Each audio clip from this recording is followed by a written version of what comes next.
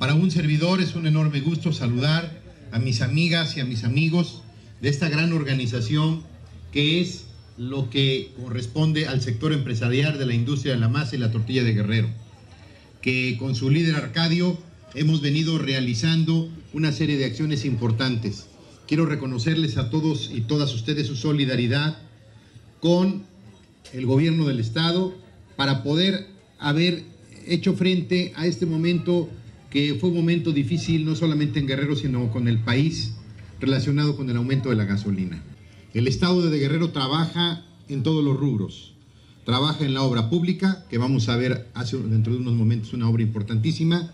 Trabaja en el sector económico, trabaja pensando en que las cosas importantes de alimentación de los mexicanos y de los guerrerenses no se nos vayan de las manos, como es el caso de la tortilla. Les expreso mi reconocimiento. Vamos a seguir con este programa, porque no solamente yo les pedí a ustedes que nos ayudaran, sino el gobernador del estado está comprometido en también regresarles a ustedes apoyos. Ustedes nos dieron su compromiso de mantener los precios de la tortilla, el gobernador se comprometió en ayudarles. Acuérdense ustedes que presentamos alrededor de 20 compromisos. Hay otros compromisos más que tienen que ver. Hay compromisos también con el transporte.